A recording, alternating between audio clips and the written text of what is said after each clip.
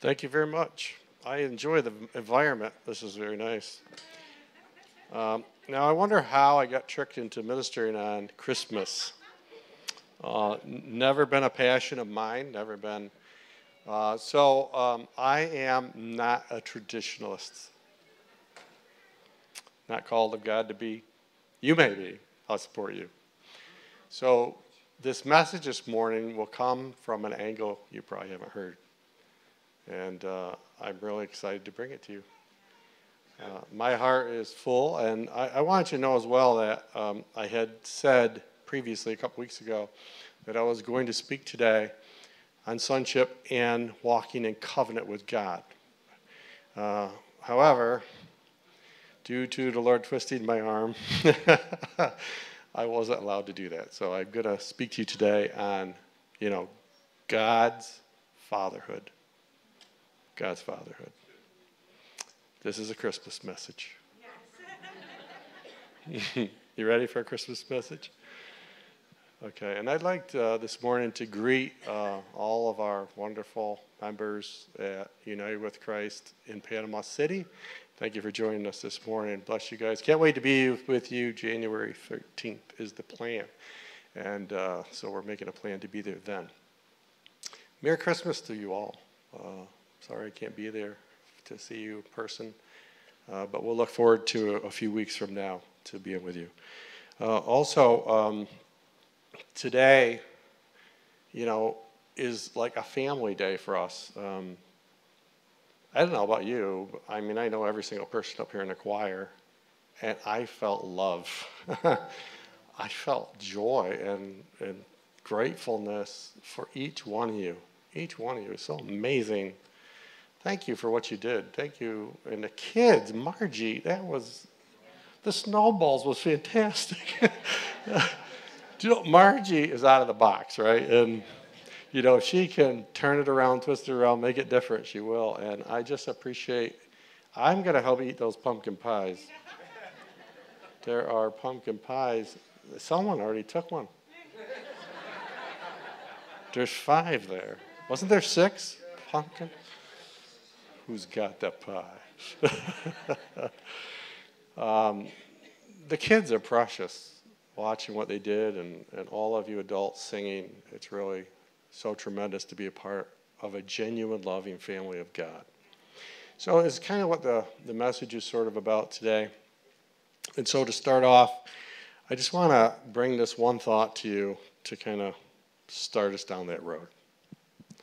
You know, a lot of people talk about the incarnation, and the incarnation is stated to be God becoming flesh. I think a more accurate way of saying it is that it, the incarnation, it's all about God the Father. You know, it's all about Him joining His DNA to humanity. Okay, so it's genuinely from Him, the seed, being joined to humanity. Now, this is a part of Christmas that I think gets lost. And we have to see it, otherwise, people are not going to understand why we celebrate the birth of Jesus so significantly, like we do. And, and I think if you just think this one thought, Jesus' birth is a manifestation of everything God has in mind for you. It's not just about Him, it's about you. It's about every single one of us. That God wants to birth his spirit and his nature inside of humanity. He wants what he birthed in Jesus to become what lives and vibrantly moves inside of our lives. He wants the same thing that raised Jesus up to be the thing that raises you up to become all you can be. The thing that made Jesus special, if I said to you, what was the thing that made Jesus special? His Father is what made him special. What was special about Jesus? Was it miracles? What was special about Jesus wasn't the fact that he was clever or could outwit all the religious people of the day. What was special about Jesus is that he carried the substance of his Father. He carried the Spirit and the Logos, Word of God, the intelligence of God in him. He was Word and Spirit in human body.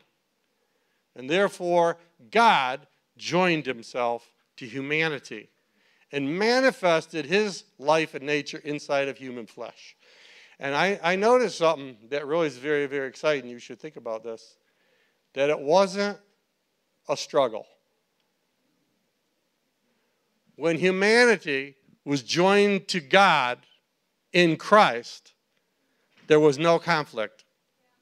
Humanity is not wicked.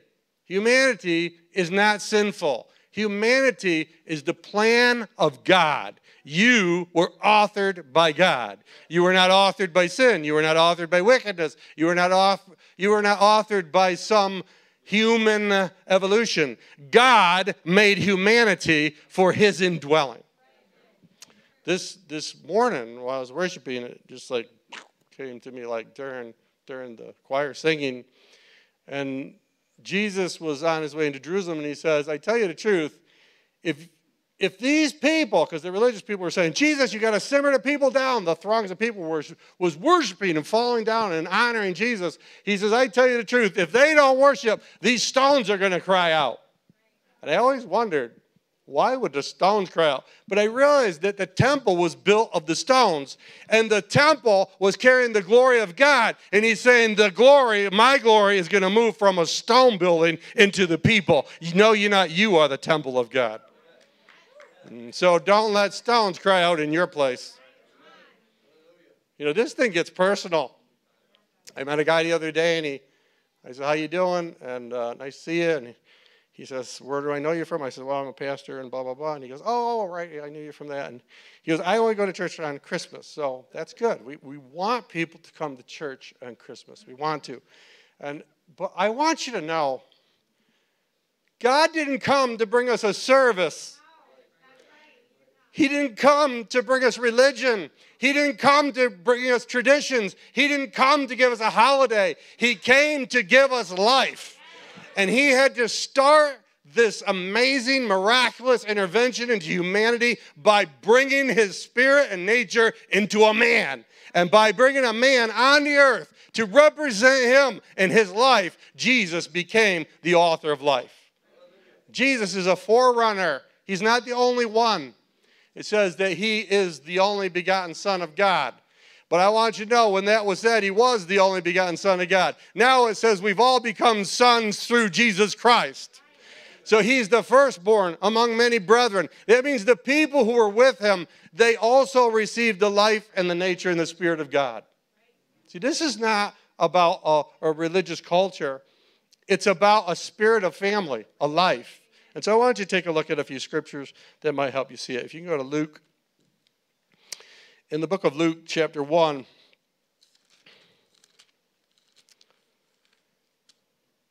I told you I'm not very traditional. it's just the way I'm wired. Luke chapter 1, verse 67. It says, uh, Now his father, Zechariah, was filled with the Holy Spirit and prophesied. So this is about the birth of um, John the Baptist. Um, it's pretty amazing stuff. Now his father, his father Zechariah was filled with the Holy Spirit and began to prophesy. Now remember, Zechariah was mute and dumb. He, could, uh, he, he couldn't speak. His mouth was stopped because God says, I want to give you a son in his old age. And he goes, How's this going to happen? And God struck his tongue. And so for a long time, his tongue was silenced. And yet, his wife Elizabeth was pregnant with a baby, and Elizabeth was carrying the baby. And Mary, the mother of Jesus, she was carrying the child of God. And it says when Mary came to see Elizabeth, it says in her greeting, she says, Hello. It says that the baby inside of the womb of Elizabeth, John the Baptist leaped and was filled with the Holy Spirit. Now that's powerful. So I would suggest that babies are important in the womb. Enough said about that. the, power of God was already on the baby, so much so, he had spoken one word, didn't do one miracle, didn't do one great thing. He was carrying the DNA of his father, and he was carrying the Spirit of God within him. And when he greeted the mother of him, greeted Elizabeth, John the Baptist was filled with the Holy Spirit in the womb. Now, is it any wonder that John the Baptist grew up to become some great, amazing person who was going to transform his society? Because the purpose of God is formed from the womb. Should be. It's powerful, right? So remember, Zechariah, his father of John the Baptist, he, he wouldn't accept it. So God took his voice. So then the day the child is born, they, the mother said his name will be called John. And the people says, his name can't be John. He has no relatives called John. They would name people after their relatives. And she says, his name will be John. So they said they turned to his father Zechariah and says, what will you call him? And they gave him a writing implement and he wrote John. And as he wrote John, they were stunned and his mouth was opened and he was right here filled with the Holy Spirit because he began to cooperate with God. Every one of us has a day where we lay our rebellion down and start to cooperate with God. And in that day, God's Spirit will come into you and begin to transform your life. It happened to me many years ago. And I can tell you something right now. You couldn't trust me before. Hide your stuff, hide your women, hide everything because this guy is after his own desires. I had a good outside shell faking it, but inside was a bunch of problems. But I remember the day I bowed my knees like Zechariah to the will of God, and the Spirit of God came upon me and changed something inside of me. I didn't know what I got in that day, and that's what we're talking about today. And so, so Zechariah was filled with the Holy Spirit and prophesied. What did he say? Blessed is the Lord our God. Now, this is about the introduction of Jesus Christ. Remember, we all talk about Jesus, but we need to talk about more about the Father who sent Jesus. Right? Blessed be the, the Lord God of Israel, for he has visited and redeemed his people and has raised up a horn of salvation for us in the house of his servant David, as he spoke by the mouth of his holy prophets who have been since the world began, that we should be saved from our enemies. You should be saved from your enemies. Did you know that? Jesus came to save us from our enemies and from the hand of all who hate us, to perform the mercy promised to our fathers and to redeem his holy covenant the oath which he swore to our father Abraham, to grant us that we, being delivered from the hand of our enemies, might serve him without fear, in holiness and righteousness before him all the days of our lives. And you, child, talk about John, will be called the prophet of the highest, for you will be you will go before his face, the face of the Lord, to prepare his way to give knowledge of salvation to his people. God is not just interested in you just saying a prayer, He wants us to understand and have knowledge of His salvation. To His people by the remission of their sins. Remission means pardon or deliverance, to be set at liberty. That means he broke the bondage of sin so that we could be set free from it through the tender mercies of God, which with which the day spring, or in the Greek, day spring means the rising of light from on high, has visited us. So, this visited us in the Greek is to exercise oversight Jesus didn't come just to visit us, He came to exercise oversight of His people's movement through the earth, of, of instilling His word and His nature in the earth. Did you know that? Jesus is exercising oversight to give light to those who are in darkness and in the shadow of death, to guide or direct our feet in the way or the journey of peace. Peace means to be set at one again. So when you come to peace, it means that you and God have been reconciled and your sins have been removed out of the way, and He's reconciled all men to Himself. So the reconciliation is a legal thing that God achieved through Jesus Christ. Jesus' coming was about you. It wasn't so we could bow down and worship him. We do that. But it was about him coming to liberate people from the bondage that they were in. He's called a deliverer or a savior of the world. That means he came to do something about the problem that we had so that we could be liberated to become everything that God had in mind for us, which looks a whole lot like Jesus. Okay, so it means to be brought at peace or be brought at one again. I want you to know God wants to be at one again with you. He wants you and Him to merge. He wants you to come to peace so that you'll not fear. Anybody who's intelligent in the Word of God, anybody who's obedient to God, anybody who loves God, anybody who's in relationship with God is not fearful about the future. But if you're still toiling in the flesh, if you're still going according to human ideas, if you're still striving and struggling, if you're still trying to be a religious person, which means you're trying to be good enough to make it, you've already failed. Because it's not about being good or bad or being Santa Claus's buddy. Who's naughty or nice? Do you want me to sing? I'll, I'll give an altar call. no, it's not about that. These are all metaphors which are off course. God did not come to make you a better person, He came to transform you into a new one. He came to give you a new heart and a new mind to know and to love God. Ask me how I know. How's a rascal? I mean, I don't want to have to go into all the stuff. Look, you are or were a sinner, so you know what I'm talking about. Scheming, plotting, thinking, all these things that were in our mind. If they're still in your mind, you probably need to be saved. What does that mean? Delivered by Jesus Christ from the bondage that's inside that's holding you hostage. So I would suggest that maybe you really pay attention to this because it could be your moment where Jesus guides you into peace. Verse 80 it says, So the child grew and became strong in spirit and was in the desert till the days he manifested to Israel. So it says the child, Jesus, became strong. So God spawned or impregnated Mary, and it says in Matthew chapter 1, it says that in her was conceived. So, conception, my wife and I, we conceived children, and our children were conceived. That means I brought my part, she brought her part, and the two were brought together to create one new person, right? And so it means that in her, Matthew chapter 1, was conceived a child. That means God brought his part, humanity through Mary brought her part. Man and God came into a union together, and that person is called Jesus Christ. Isn't that exciting?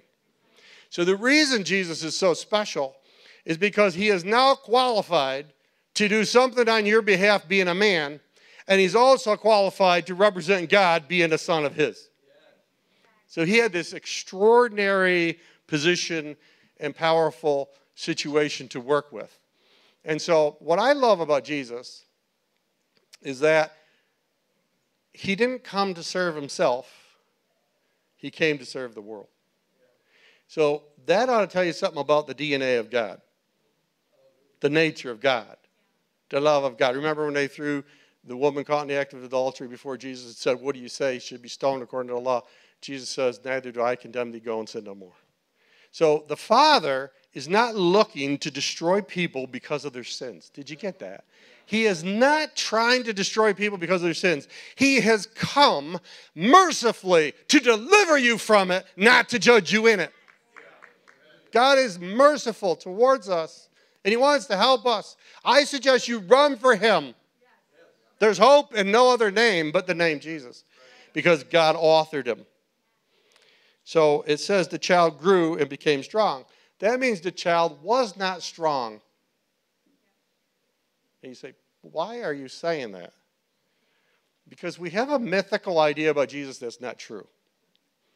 He didn't just go, bink, as a baby, go, Mom, if you just use a different kind of shampoo, my hair would look better. Yeah. He, he wasn't filled with wisdom at birth. He wasn't special at birth, other than the fact he was born of God. It even says in Isaiah that he wasn't even good looking. Man, this choir was good looking. I was, I was looking up there, that you guys are so look so nice. But Jesus wasn't good looking. If he stood next to you, you wouldn't go, "Oh man, they're nice to look at." You wouldn't even think of him that way. He didn't have the advantage of good looks or some stature or something that would attract you to him. And it was by design. God didn't want people in the flesh to be attracted to him. They would have to hear his word and see the manifestation of his nature in life, and they would follow that. We shouldn't be overly impressed with people, with superstars, or with people who've acquired great things, or even preachers who stand in front of great audiences. It is not about the flesh, it is about the character and the nature of God inside. If, if you find that in a person, you could follow that. That's worth following. Can you turn to um, John chapter 5? Um, you can look in your phone. I say turn because I'm an old preacher. I always say turn, and the kids are thinking swipe. swipe. Could you swipe to John chapter 5? uh, John chapter 5. There, there's scripture, there's so many scriptures that reveal um, so many things. This one is particularly, oh, I just love how it says it. It says, um, John chapter 5, verse 17, it says, But Jesus answered them, my Father has been working until now, and I have been working. Therefore, the Jews saw all the more to kill him because he not only broke the Sabbath, but he said that God was his Father, making him equal with God. Okay, so if you have a son and he calls you Father, your son is equal with you, not authority, in nature. That which comes from you is you. That's why family is so important. Because that is us and your spouse in union, which created this new child. How am I going to deny myself in my children? I cannot do it. So we all look for our own image. I met someone here today and says, Oh, I could see your son. Oh, yeah, right here, mom. Uh, I saw Dan's mom here, and I said, I can see Dan in your face a little bit. And so we can see our image in our children. And God's image was in Christ. And God, uh, and Jesus called God his Father, saying, which the Jews knew, if you say, I'm your Father, that you make yourself equal with God. Then Jesus answered and said to them, Most assuredly I say to you, the Son can do nothing of himself, but what he sees the Father do. This is what our society needs today. It needs fathers to step back up so the son can know what to do. You can liberate all the women in the earth, but if you don't have men that can lead, this is a disastrous society. Well, I didn't get much amens on that one. The skyscrapers were built by men. The bridges were built by men. The roads were built by men. Men built everything. Women didn't build it. Women want equality. They want the office job. They don't want the ditch, digging the ditch. When I go past the car, it's broke down. There's a man under the car, and the woman sitting in the seat because they are warm. That's because that's the way God created it. Even a feminist sits in the car, gets a guy on the phone to come and fix her car. It's because we are different. I got hair growing out of my face. Someone says to me, Pastor Chris, why are you growing a beard? I'm not. I stopped shaving. God is growing a beard. you understand? We're different. Men are stronger, faster, quicker. Women are smarter, brighter. you understand? There's differences. Men's memories are short because they got to get things done. Women can remember it all. so you got to know we are entirely different. I don't know why I said all that. John chapter 5. So he says, My father has been working. And he says, They said, You make yourself equal with God. I want you to know the word father in the original language, the Greek language, is the word pater. P A T E R. Pater. What a word. Listen to what it means. It does, doesn't mean father. This is what it actually means nearest ancestor, originator of a family or a company of persons animated by the same Spirit. Whoa, did you hear it? Did you hear it? A company of persons who are animated by the same Spirit. That's us. Jesus said, God is my pater, He's my nearest ancestor. And He made Himself equal with God because He was His nearest ancestor. That is a phenomenal statement. So, John chapter 20, please, if you can swipe to 20. I've never said the swipe thing before. John chapter 20, verse 17. This is very interesting as well. Jesus then said to her, Do not cling to me, for I have not yet ascended to my pater, my father. But go to my brothers and say to them, I am ascending to my father and my father, my nearest relative, the originator of our family, and to my God and to your God, to my father and to your father. Did you get it? Jesus said, Go tell the disciples, I'm ascending to my father, my pater, the origin of our family. And he is my father, and he is your father. See, what I don't like about the incorrect glorification of Jesus Christ, if you can say that, is it leaves you out of the equation. Jesus said, You will be glorified together with me. You will be glorified. How? When you become a son of God through the new birth, then He's your Father, the same as He's Jesus' Father, and He's your God, the same as He's Jesus' God. That's why it says in Hebrews chapter 2, He's not ashamed. He's not ashamed. Can everybody say He's not ashamed, not ashamed. to call me? call me? Come on, do it again. He's not ashamed, not ashamed. to call me, call me. His brother. We got to preach this more. This is a lost message in the body of Christ. If you ask the question across the world, is Jesus our brother? Most people say, no, he's our Lord. Well, he is our Lord, but he's also our brother. How can he be our brother and be our father? No, Father God is our God. Jesus is our brother. Jesus is the Son of God, and we've been born of God, and therefore we're the Son of God. He says, I'm going back to Pater, the origin of our family. And he's your pater because he's my pater. Can you say pater? That's a funny word. Do you know a lot of sci fi movies and a lot of um, documentary, or not documentaries, but movies that are made, they use a lot of biblical language like AI. You know, all the stuff's in the Bible. You know, there's so many words Morpheus, you, will find, I, I like looking at, um, when, when you look at some of these movies, man, you can find all the words in the Old Testament. They're like all over the place. Someone's reading the Old Testament and go, oh, that's a good word. That's, I'll use that. I'll use that. I'll use that. The Bible is the answer to life. And those who find the wisdom of it and honor God in it find life. And they escape the corruption that's in this world. It really is true. Super true. So God is our Father. Can you say, God is my Father? Oh, so John chapter 20 is true. He ascended and he said, He's my Father and He's your Father. First Peter, if we can go there quickly. Older people, can you turn your page? First Peter chapter 1. Uh, youngsters are already there. They swiped long ago. Verse 3 Blessed be the God and Father, Pater of our Lord Jesus Christ. Do you know that Jesus has a Pater? that sounds like a movie or some kind of joke. Blessed be the God Father or Pater of our Lord Jesus Christ. That means the origin of his new family line. Jesus is the product of man and God. Can you say man and God? If you don't have man, you don't have Jesus.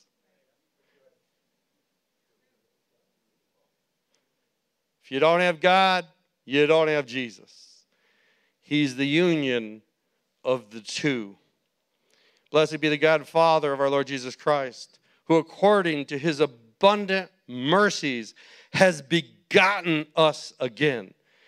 Now, in the Greek, this is interesting. This begotten us again. This is the word in the Greek A N A G E N A O, uh, emphasis on the O. It is from the word genos. I think you recognize that. Genos. Now, in the Wikipedia, genos or gene is race, family, generation. Okay? So, this is what it literally, if you want to go a little deeper into the detail of how that happens, how do we become family? How are you brothers? How are you sisters? How is your parents related to you? This is how. DNA is the is responsible for the building and maintaining of your human structure. Genes are the segments of your DNA which can't read my own writing which gives you physical characteristics that make you unique. I'm going to say that again. DNA is responsible for the building and maintaining of your human structure. Genes are the segments of your DNA which gives you physical characteristics that makes you unique. So Jesus is saying here in the word through Peter, he's saying, Blessed be the God and Father of our Lord Jesus Christ, who is abundant mercies, who has given you unique characteristics from heaven that make you uniquely his children. Now it's all hidden there. You read in the translation and you don't even get the depth of what it's talking about. That's why I say we have to get saved and come to the knowledge of God. I need to realize that I'm not a mistake and I'm not a sinner. In the beginning, before I was born, before I was in my mother's womb, it says in Jeremiah, He knew me before then. I came into this world and I was devoid of understanding. No one taught me, I didn't understand. So I entered into a life of sin and submitted to a spirit of darkness, and pretty soon I became corrupt inside like every other person. I was marked with tragedy, but God, my Father, didn't want to leave me in that condition, and He sent a person called Jesus Christ in the flesh. Humanity and man joined together to do what? Save the rest of His children from their sins. God is amazing. He didn't leave us in this condition. He sent us a message called sonship. God did something about your problem. And then Jesus, as if he needed to die for sin, because the Bible says he never sinned once, he never violated the will of God at all. That means he was unworthy for death. In fact, the Bible says you could not kill him. It's impossible to kill an innocent man. But he willingly gave it up. For what? You. It's 11 11. He willingly gave it up for you. He willingly, can you say willingly gave it for me? So the next time you feel condemnation, think, oh, Holy Spirit, I know you're convicting me of sin. That's rubbish. The Holy Spirit does not convict of sin. It says in, in John chapter 14, it says, when the Holy Spirit comes, the Spirit will convict you of sin, righteousness, and judgment. Of sin because you don't believe. He's not convicting you of what you're doing wrong, He's convicting you to believe. Believe what? The report of God that He sent Christ to die on the cross to remove your sins. And when you believe that, when you're under the conviction of the Holy Spirit to believe, you are saved. By what? The Spirit of God. And of sin because you don't believe, of judge, oh, excuse me, of righteousness because I go to the Father. What Jesus do when he went to the Father? It says he carried his own blood into the true tabernacle, not the one on the earth in Jerusalem, and put it on the mercy seat. And therefore, having obtained, can you say obtained? Eternal redemption for us all. Having obtained eternal redemption for us all, sat down at the right hand of God's power, ever living to intervene on our behalf. Wow. And we say, I feel convicted by the Holy Spirit. What? To believe? Go ahead. No, I did something wrong. No, that's the devil convicting you of wrong. It's actually the devil convicting people of sin. Sins, sins, sins, plural. The devil convicts people of sin. You're bad. You're no good. You're not good enough. You're not as good as God. But the Spirit comes, dwells inside of us to convince us, convict us of what? The fact that God succeeded through Christ to deliver our spirit from bondage because He is the deliverer, the Savior of the world. He came into this world to set us free. Can you say He set us free?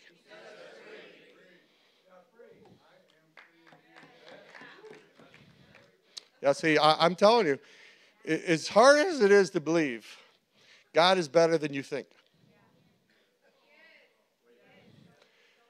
God is not some egotistical male chauvinist that wants us to come on Sunday and worship Him. I used to be one. One day my wife cured that problem. Because I told you, women are smarter than men. she came to our room. I heard, Chris, Chris. I was like, I turned around. She's on her knees. She goes, Chris, you're amazing. She's on her knees. You're amazing. You're the most amazing man. There's no one like you nowhere else. And I was like, what the heck? Something's wrong. And she said a whole bunch of stuff. Yeah, she said a trap. and I was like, I was looking at her and she got up and she goes, It's stupid, isn't it? That why do you do it to God? And walked away. And I stood there. I didn't know what to do. Could you come back and do that again? uh, but I realized the absurdity that the God of the whole universe needs anything from a bunch of wiggly worm people, Christians who are sinners, to tell him he's good. What the heck's wrong with you, God? You need us, losers, to tell you you're great? And I realized it doesn't make sense. So I went on a quest. I was already a preacher when that happened. You can imagine how that influenced me. I never saw my wife the same way again. I said, Why don't you tell me that again? but I, I, went on a quest and I started realizing there's nothing in the Bible that feeds God's ego. Ego. Nothing. Nothing. He says, Remember the woman at the well? And she said, He says, Woman, get me a drink of water. And he didn't go, Woman, get me a drink. He wasn't a male chauvinist. That's how the translators made it sound because they were chauvinists back in those days. Don't you agree with that? Do you know not long ago there was slavery? Do you know not long ago women were not allowed to vote? Do you know not long ago? Why? Because we've been being delivered out of an oppressive idea, and some of it was religion that brought it. God didn't come to bring us oppressive religion, He came to bring us liberty. A man who's worth his salt will defend his wife and stand up for her honor and give her latitude and room to be who she is without crimping her. Jesus doesn't crimp us, right? What was I talking about? Sorry? The woman at the well. Thank you. There's garbage up here. Those kids were amazing. All right, so the woman at the well, he goes, Woman, get me some water. He was tired and thirsty. He sent his disciples away to get food and water. She goes, Who are you? A Jew talking to me, a Samaritan woman. We have no interaction between our, our nations. Woman, if you knew who you were talking to, you would ask me for water, and I would give you living water, and you will never thirst again. He wasn't talking about the water well. He was talking about hunger in the spirit for truth and for life. And she was like, Give me this water, sir. And then he started reading her mail. He goes, Go get your husband. She goes, I don't have a husband. He goes, You're right. You've had five, and the one you're with is not your husband. They're living together. He didn't go, Now I want you to know it's a violation of the law that you're living together and you are bad, and the Holy Spirit's going to convict you of that. He didn't say that. He said, The one you're with is not your husband. She goes, I perceive that you're a prophet. He knew stuff about her he couldn't know. Isn't it wonderful? He didn't throw bombs on her because she's doing stuff wrong. He knew she needed salvation and he came to bring it. He says, She goes, I know you Jews worship in Jerusalem, but us Samaritans, we worship on this mountain. He says, I tell you the truth. You got to hear this. Come on. God's not a chauvinist. God's not an egotistical maniac. He says, I tell you the truth. Jesus said, For my Father is seeking such who will worship him. not in Jerusalem, nor on this mountain, but those who will know him in spirit and truth, that they might know him. See, God knows that when you know him for what he is, you will fall in love with him, you will honor him, and you will worship him for what he is. He doesn't want you to vainly say things you don't believe. He wants to grip your heart with his powerful provision and salvation and love for you to rescue you and save you. And then you say, Thank you, God, for saving me. I was a wreck, and you gave me a new heart and a new mind to know and to love you. See, praise is spontaneous. It comes from the heart that's been rescued.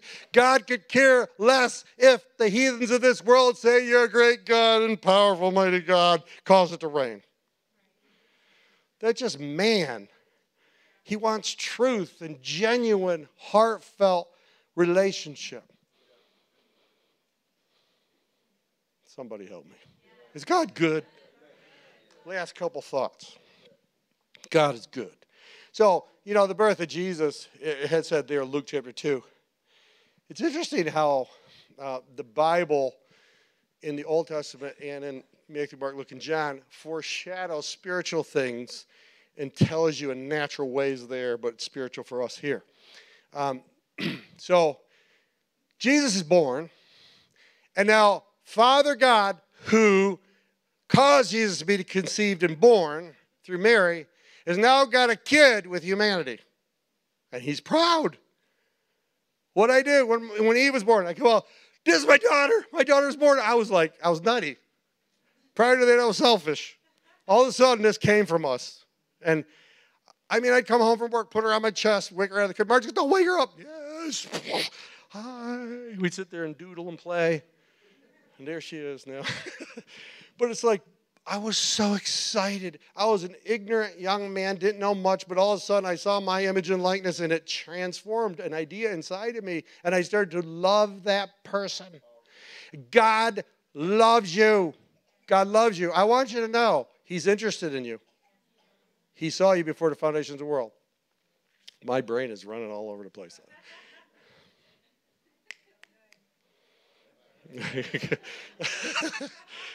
I, God is good. He'll help me.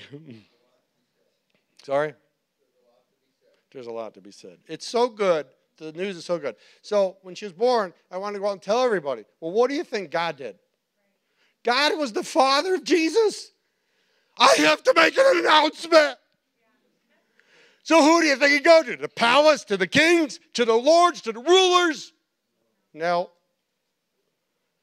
Shepherds, farmers, sheep herders. It's because God knows He has entrusted the good news to shepherds and pastors of the sheep.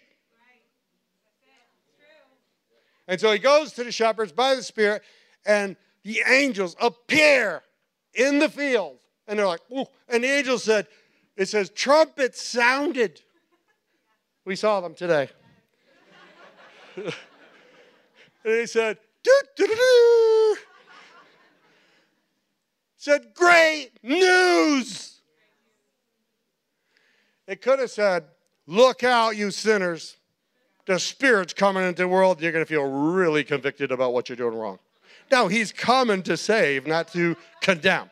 Jesus said, I have not come into the world, condemned the world, but I have come into the world that it might be saved. We got the gospel backwards. We got to get it back around this way, right? And so uh, they, they did the announcement they said, Great news, for unto you, pastors, a child is born. What child? Humanity and God have had a kid together. And his name is called Jesus the Christ, the seed of God. Wow. The seed of God. I want you to know the mission of every fivefold minister, the mission of every minister of any kind, the mission of every pastor is to announce the good news that God did something about your mess. And if you would just learn how to receive it and understand that God is not an arrogant, mean, egotistical God who wants you to obey him. In fact, I don't want to get into it, but God doesn't even want you to obey him. Obedience was under the law, under the old covenant. Obedience in the new covenant is a different word, and it means to hear him accurately and to conform your life to him.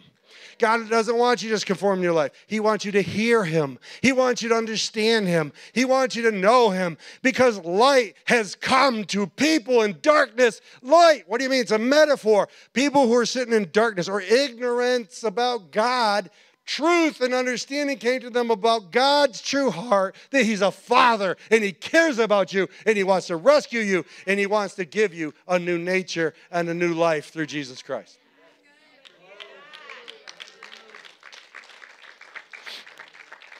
Yeah, I love, I'm not even going to read that scripture. I, I love that scripture in Galatians chapter 4. Because you are sons, because you are. You know, if you've come to Christ, you're now a son of God. Jesus is now the eldest brother among many brothers. It's amazing. You can Hebrews chapter 2, you can read it. And it says in Galatians chapter 4, verse 6 and 7, because you are sons, God has sent forth his the spirit can you say the spirit? The spirit of his son into our hearts. You know i'm not what i used to be. When you receive christ you won't be what you used to be. The worst thing you could ever do trying to get to god is try to be good.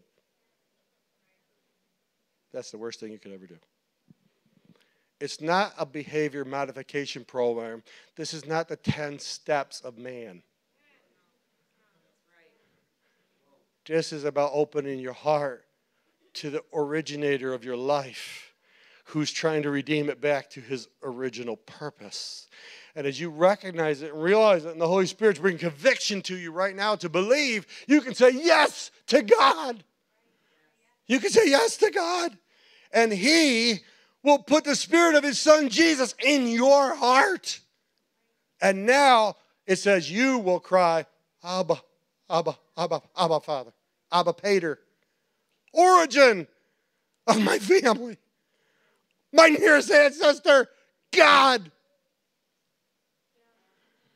See, if you don't see it right, you'll make works out of benefits. Maybe someone should write that down. You'll make works out of benefits. Do you know, this morning I woke up. I had a headache last night. I didn't know I was asleep. But the headache was causing me to toil in my sleep. The dreams were harsh. They were hard. I was like, like I got to get out of this bed. And I finally woke up and got up went, what was that? It was horrible. And I didn't really like feel spiritual. I needed Margie to get up and start doing her thing, you know, worshiping. And no, I'm just kidding. just kidding. And uh, so I got up, I went out, I put the coffee on, and I went in my office to pray. I said, I'm not going to say one religious prayer to you. You're in my pores.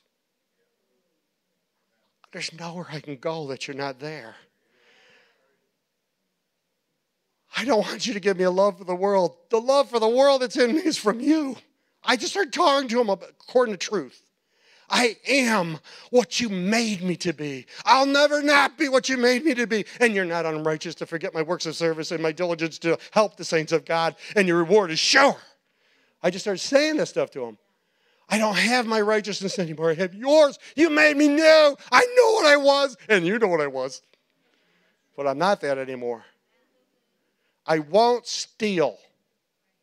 I won't covet. I won't commit adultery. I will not do anything that the Ten Commandments say. I'll tell you why.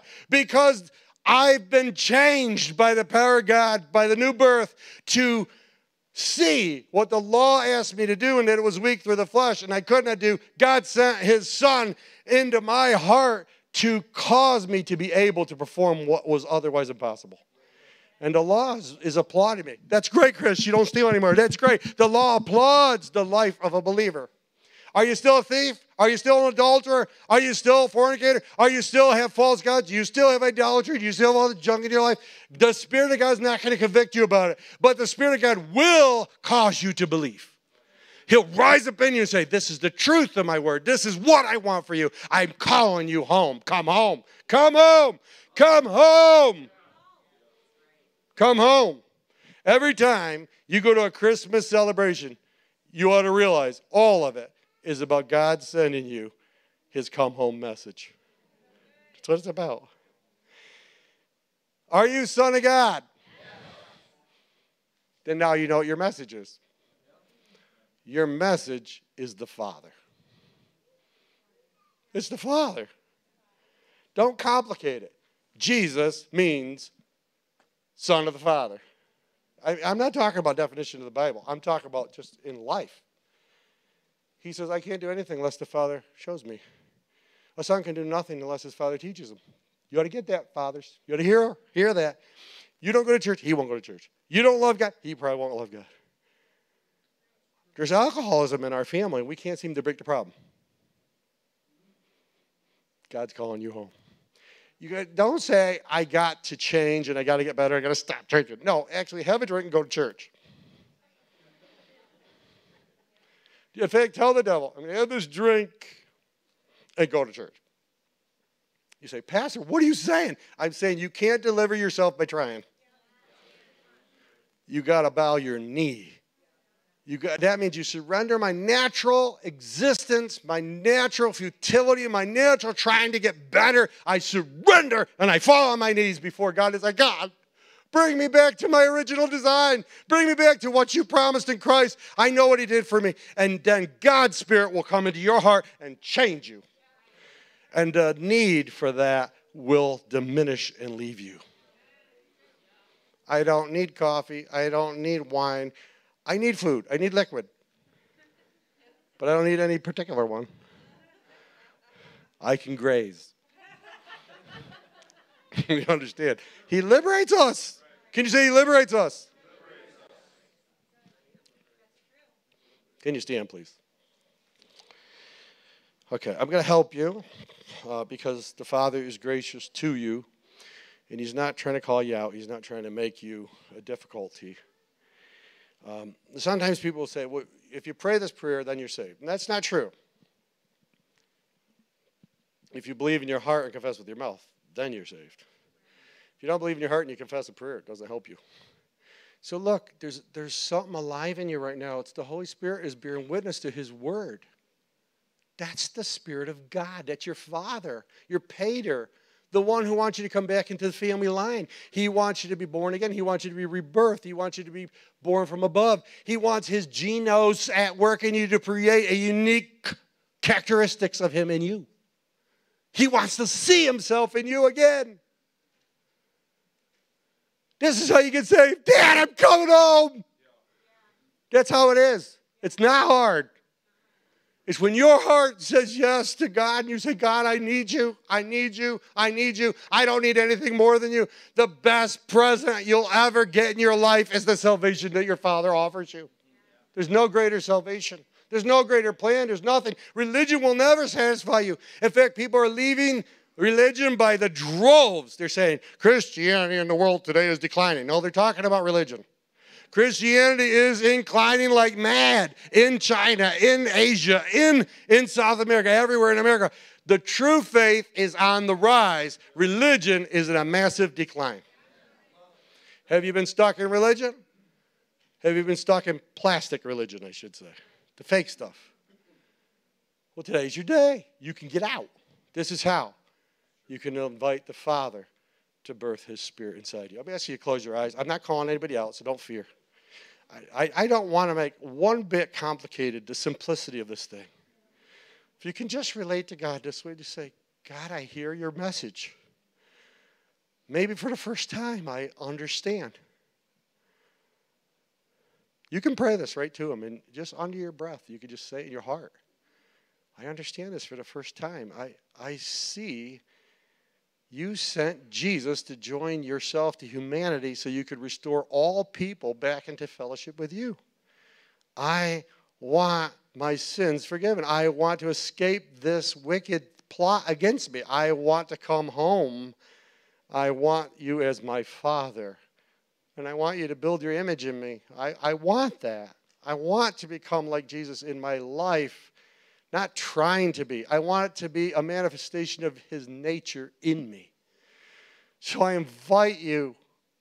I invite the Spirit of Jesus Christ. Just say to him, I invite the Spirit of Jesus Christ to come into my life. I invite you, have your way inside of me. Make me new, cleanse me, cut away the filth of my heart, and make me a brand new man.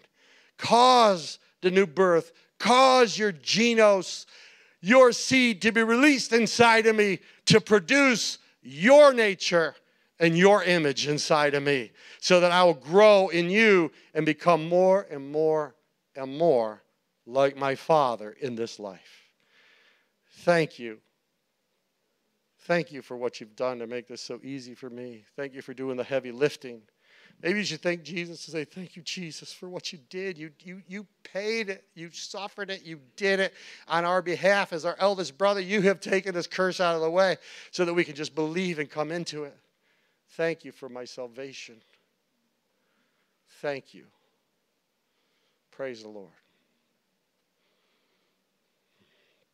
Maybe in your own heart, you could just thank Him in your own words and Thank you for my new salvation. Thank you for this beginning, this new beginning. Thank you for giving me this special day that I can start to walk with you in a new life. Lead me forward from this place. Help me to stay connected to the body of Christ and to the shepherds who lead the sheep into victory. Thank you for the salvation that's so freely given to me. Amen. Your goodness is running